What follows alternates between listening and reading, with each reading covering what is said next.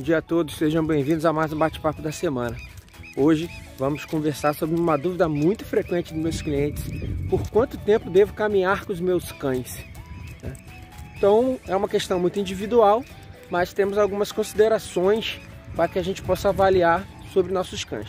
Primeiro, é a questão da raça. Né? Algumas raças foram criadas pensando-se nas suas características atléticas, né? Por conta do trabalho, do desempenho que aquele cão deveria fazer. Né? E aí a gente pode falar aí os cães de caça e os cães de pastoreio, né? que naturalmente esses cães têm uma resistência muito maior. Então, para quem tem essas férias aí, sabe como eles são bem elétricos no seu dia a dia. Né? É interessante a gente pensar que, inclusive, algumas raças são limitadores para o tempo de caminhada. Por exemplo, os bulldogs da vida, que têm os focinhos mais curtos, o que dificulta a troca de oxigênio durante uma caminhada. É, segunda questão, gente, para a gente considerar, é a questão da temperatura. Né? Se eu quero caminhar com o meu cão, né, precisamos pensar aí a questão do tempo. Se estiver muito quente, o asfalto pode queimar a pata do cão. Né? É, os cães que têm dificuldade na troca gasosa, né? É, eles aquecem muito, mas não conseguem dispersar esse calor. Então aí a gente tem que ir num ritmo menor, procurar os horários com menos intensidade de calor, né? menos incidência do sol, né? antes das 10 da manhã e depois das 5 da tarde. Né? Se, se, se, a gente tiver no inverno, é mais tranquilo, né? O horário de caminhada é muito mais light para a gente poder caminhar com os nossos cães, porque o tempo vai favorecer nesse sentido. Uma outra questão muito importante, gente, é o peso atual do seu cão. Né? Vamos considerar aqui ó, a negrinha. É um pastor alemão, tem resistência física, tem o porte adequado, entretanto, um pouco acima do peso. Ela já não aguenta, além da idade, né? ela já não aguenta mais. É, uma outra questão importante, gente, é a idade do cão.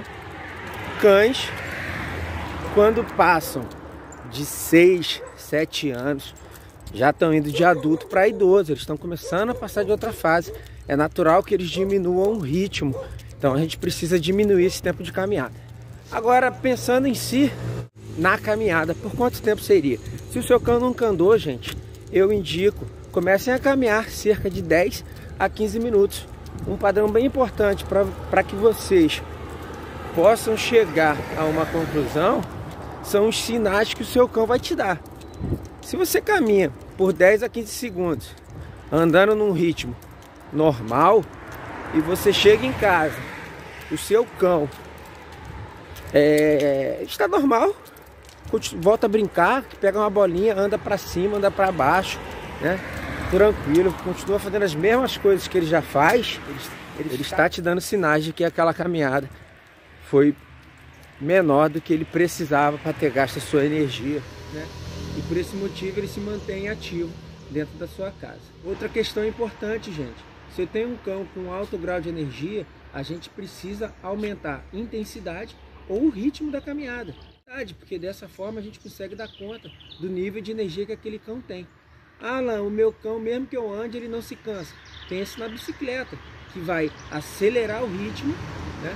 E dessa forma esse cão vai conseguir gastar a energia que ele está querendo gastar. Né? É, os cães já de pequeno porte, né, ou que tem dificuldade na respiração, como por exemplo o bulldog francês, a gente tem que pensar numa caminhada mais leve, mas talvez seja preciso aumentar o tempo de caminhada. Não é porque ele tem um focinho curto que ele não tem energia para gastar. É, aí são os sinais que o seu cão vai te dar após a caminhada que vai garantir que você é, ofereça, que vai garantir que você ofereça para o seu cão uma caminhada de qualidade, que gasta energia para o seu cão e contribui com o seu equilíbrio mental.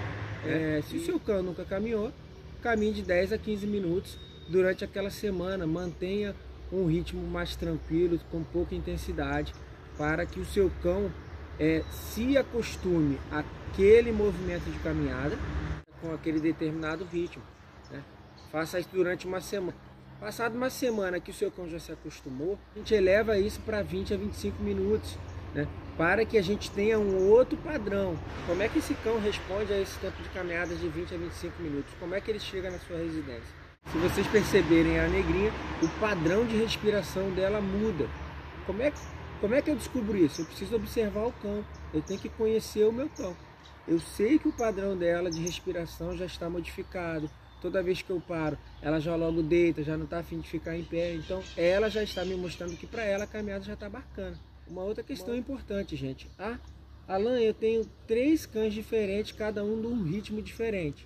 A gente precisa dar conta dos níveis de energia do nosso cão. Se eu tenho um cão com mais energia que o outro, eu indico, primeiro saia com aquele com mais energia, gaste, sei lá, 5 a 10 minutos primeiro com esse, e depois você pega o que anda menos, que exige um tempo menor, e conclui o tempo de caminhada dos dois.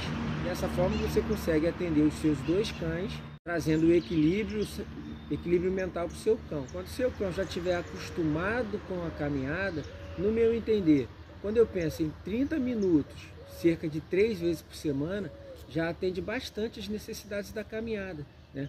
Uma caminhada de qualidade né? melhora a imunidade do cão, traz um equilíbrio mental para esse cão. É uma necessidade básica do seu cão. Se ele estivesse em vida selvagem, ele precisaria caminhar quilômetros para poder caçar, matar sua presa e depois se alimentar.